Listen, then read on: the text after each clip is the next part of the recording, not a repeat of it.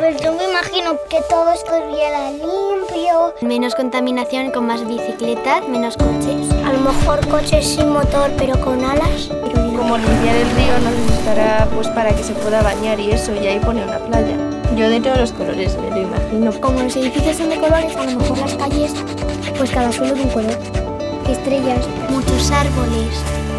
Y como el aire más limpio.